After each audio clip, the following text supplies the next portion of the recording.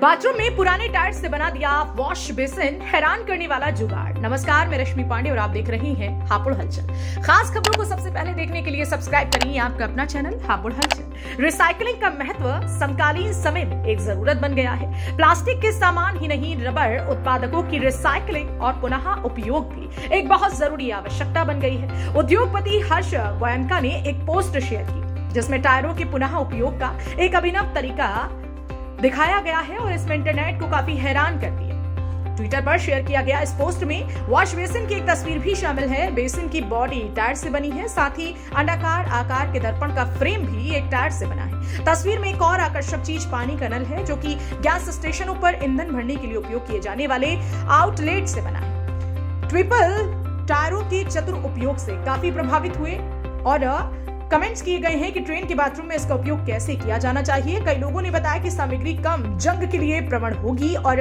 वास्तव में एक बेहतर विकल्प। एक ट्विटर यूज़र ने लिखा, ये बहुत ही रचनात्मक है। दूसरे ने लिखा, बहुत पर्यावरण के लिए अनुकूल। हालाँकि एक ने बताया कि टायर ज्वलनशील उत्पाद है और इन्हें सावधानी से इस्तेमाल किया जाना चाहिए। बहरहाल, आपकी क्या राय है? कमेंट में ज़रूर बताएँ और देखते रहें हापुड़ हलचल।